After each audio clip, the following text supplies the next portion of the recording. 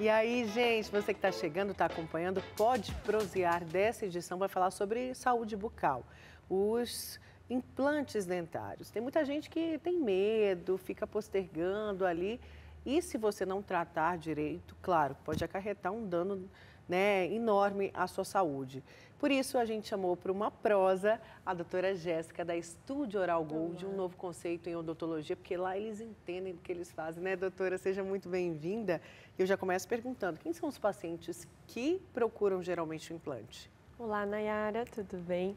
Nayara, são pacientes geralmente de meia idade que perderam os seus dentes quando mais jovens. Naquela época, a gente tinha toda uma cultura, junto com os dentistas práticos, de qualquer coisinha tá fazendo a extração desses dentes. E também muitos que sofrem acidente, alguma queda e perdem esses dentes devido a algum ocorrido ali. Pois é essa questão, né? É, tem muita gente ainda traumatizada, então por isso, por isso, por antigamente. E hoje eu sei que a estúdio tem o que há de mais moderno no uhum. mercado. Hoje é diferente, doutora? Hoje é totalmente diferente, né, Ara? Hoje não existe aquilo do paciente ter que aguenta mais um pouquinho, não está acabando. Não tem mais isso. O implante dentário, ele é uma cirurgia bem simples, tá? Não é um bicho de sete cabeças. E a gente também faz na estúdio o procedimento de sedação. Então, o paciente faz uma cirurgia, seja uma extração ou um implante dentário com sedação, em que ele dorme e, termina, e acorda só quando termina a cirurgia. Gente, que maravilha isso. Vocês não estão entendendo. Isso é muito bom, porque realmente o paciente fica ali com a boca aberta um tempão e isso incomoda. Acho que mais até do que dor, né, doutora? Isso. Como que funciona essa sedação? E o tempo também para fazer, em média, um implante? Isso vai depender de cada paciente? Isso. O tempo, Nayara, depende de cada paciente, cada procedimento, né? Se a gente tem que fazer um implante dentário, cirurgia do início ao fim, desde a anestesia, ele põe 40 minutos no máximo. 40? 40 minutos, é super rápido, é um procedimento rápido.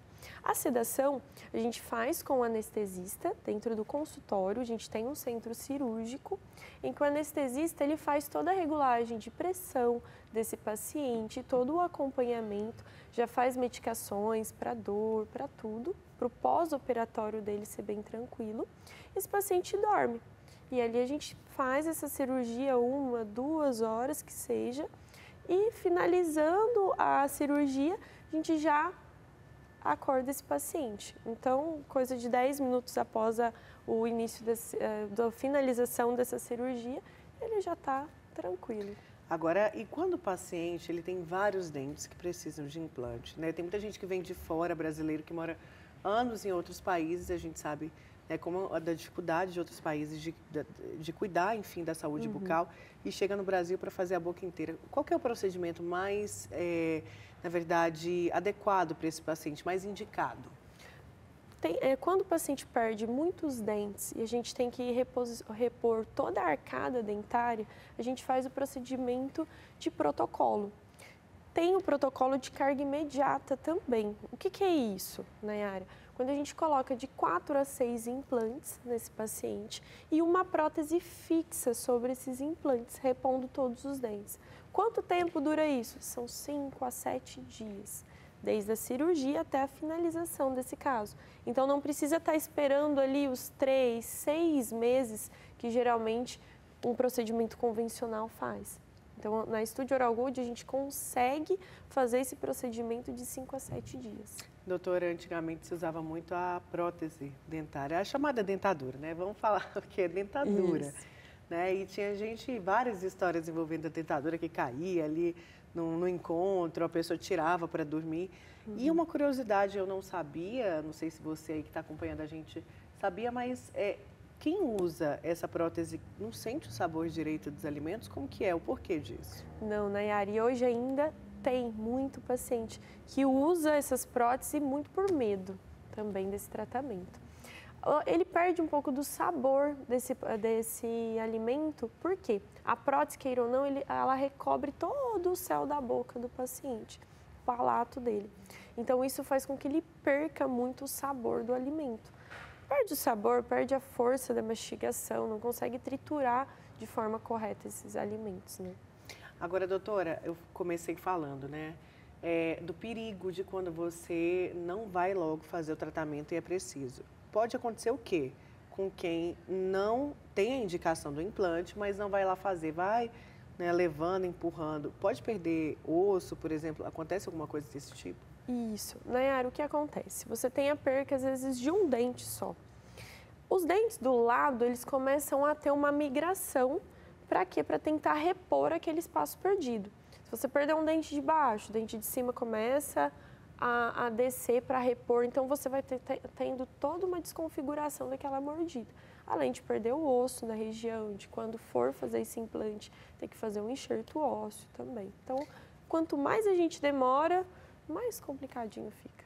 Pois é, e quando o paciente já não tem o osso suficiente, ou se isso existe, como que faz? É possível fazer o implante mesmo assim, ou tem outra técnica?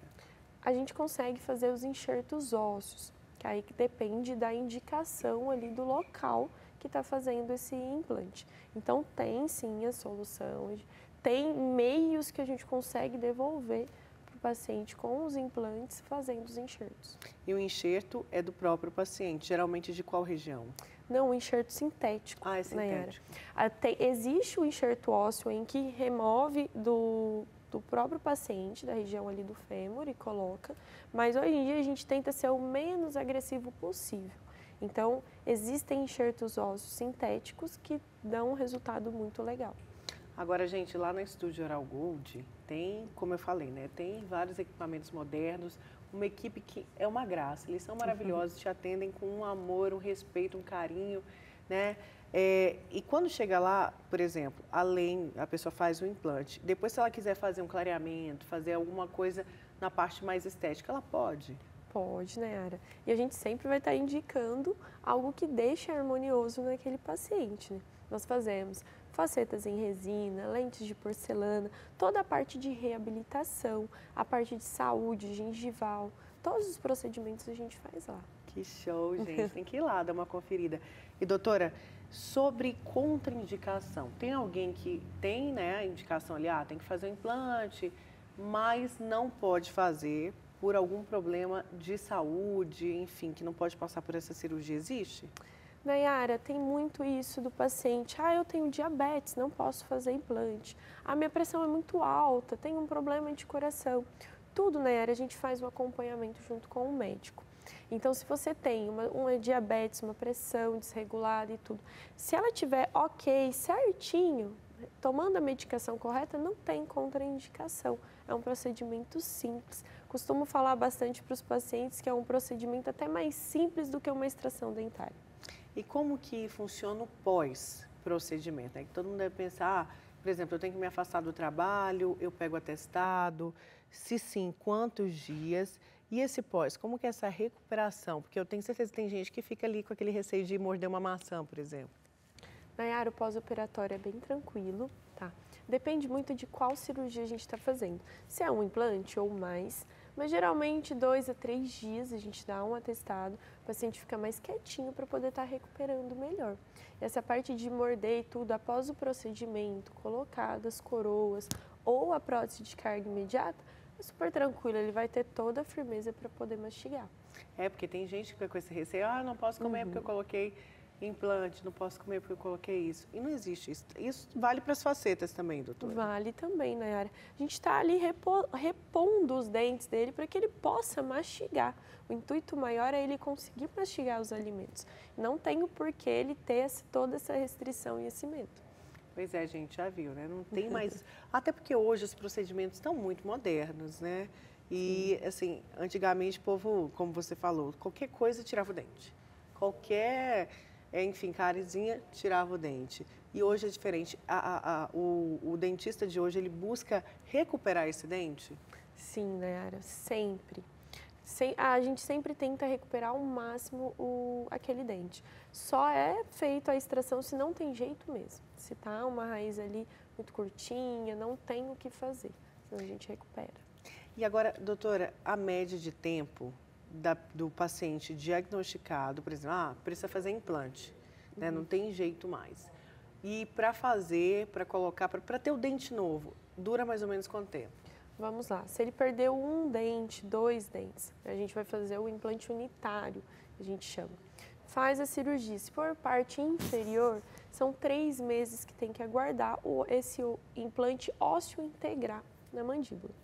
Se a parte superior é um, um, osso mais molinho que a gente tem, então geralmente de quatro a seis meses, que aí a gente inicia a confecção dessa coroa. Então, quando é unitário, é esse períodozinho a mais. Tem gente que fala assim, ah, eu tenho bloco, né? E tenho, sei lá, um, restauração que chama, né? Uhum. Isso daí já é um indício que eu posso ter um implante, que eu posso precisar no futuro de canal de implante ou uma coisa não tem nada a ver com a outra? Não, uma coisa não tem nada a ver com a outra, né, Ara? Eu tenho um bloco, uma restauração, a gente tem que fazer todo aquele cronograma e tá indo no dentista todos os anos, para a gente intervir o quanto antes e não deixar aquilo aumentar. Então, o implante dentário vai ser a última opção. Primeiro, uma restauração, um bloco dentário, que é uma restauração um pouco maior, depois um pin, uma coroa. E aí, se não tem jeito mesmo, aí que a gente cai no implante. Já fala pra gente, né? Muita gente deve se perguntar, qual que é a diferença do bloco para o implante?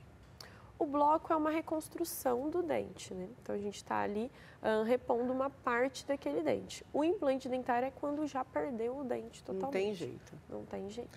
E os principais sintomas? A pessoa vai, claro, não tem jeito, né, doutora? A pessoa vai só quando está doendo. Uhum. Doendo, gente, não espera, vai cuidando primeiro da saúde, depois buscando aí o dentista. Mas quando dói muito, que é aquela dor insuportável, a pessoa vai lá no dentista.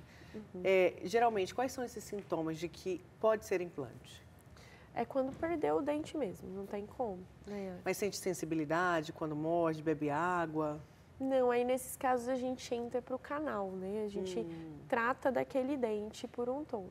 O implante dentário é quando você não tem mais o dente, perdeu aquele dente e vai repor ele. Inclusive, a gente estava falando no começo, né? Muitos, é, um, os pacientes mais velhos acabam uhum. procurando, idosos. Mas um jovem que não cuida da saúde bucal ou que sofre algum trauma também pode precisar de implante? Sim, sim. Um jovem, principalmente, a gente pega muito caso que caiu de bicicleta quando novinho, perdeu aquele dente ou deixou uma cárie muito grande até quebrar aquele dente pela raiz e ter que repor com implante. E jovem, sim, tem como fazer implante. A gente só preconiza aguardar após os 18 anos, por conta do período de crescimento desse paciente. Ah, então antes não pode, é igual criança, né? Se, tá, se não escova direito, o dente que ainda não perdeu, aquele chamado dente de leite, ele pode acarretar algum problema no, no fixo? Sim. Se ela não cuidasse, a criança não cuidasse, a mãe não escovar direito? Sim, com certeza.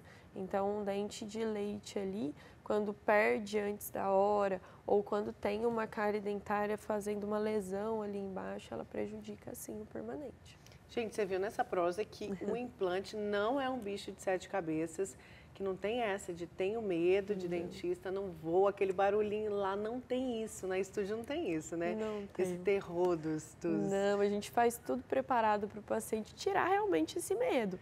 Não ter... Você entra na clínica, os pacientes sempre falam, entra na clínica já tem uma outra sensação, porque a gente faz tudo preparado para tirar esse medo do paciente. O ambiente também, ele, ele pesa nesse sentido? Pesa. Porque o pessoal associa muito o dentista com o cheiro do dentista, com aquela cor de consultório que você chega e você fala, até arrepia, né? Então a gente preparou tudo para que o paciente fique à vontade realmente, sem achar que ele está indo para o dentista, né? É isso aí, gente. E doutora, a gente está quase caminhando para o fim da nossa prosa, mas antes, né, a gente reforçar a importância de cuidar dos dentes e de não esperar, principalmente quando o assunto é implante. Isso. Saúde bucal ao todo, né, Neara? É algo que a nossa saúde começa ali. Então, a gente realmente cuidar e não deixar, não ficar esperando o pior vir a acontecer. Né? E se você for lá na Estúdio Oral Gold, o que, que o pessoal vai encontrar lá? Muito acolhimento, cuidado de excelência mesmo. Isso, né? A gente tem uma equipe toda formada para isso, para receber bem. E eu sempre estou lá, eu cuido do paciente do início ao fim. Tem, há, há procedimentos que não, sou, não é comigo, mas eu sempre estou acompanhando eles do início ao fim. Mas você vai ver lá a doutora Jéssica, tá? Até que o pessoal se sente mais em casa, né? Se sente, né? Cadê a doutora Jéssica? Desse jeito. eu sei como é. Agora, ó, você também pode entrar lá no Instagram da Estúdio Oral Gold ou deixar aqui nos comentários uma pergunta, um assunto relacionado à saúde bucal que você também quer que a gente bata um papo, converse um pouco mais, que a doutora tire aí todas as suas dúvidas. Doutora, uhum. mais uma vez, muito obrigada. obrigada Bom demais recebê-la aqui para falar de um Prazer. assunto importante, né? Muito importante. Espero que a gente ajude o pessoal lá. Com certeza. Já ajudou muito esse papo, viu? A pessoa, principalmente, ter uma atenção maior à saúde bucal. E esse foi o nosso Pode Prosear de hoje. Espero que você tenha gostado. Deixa aí seus comentários que a gente lê tudo com muito carinho. Até o próximo.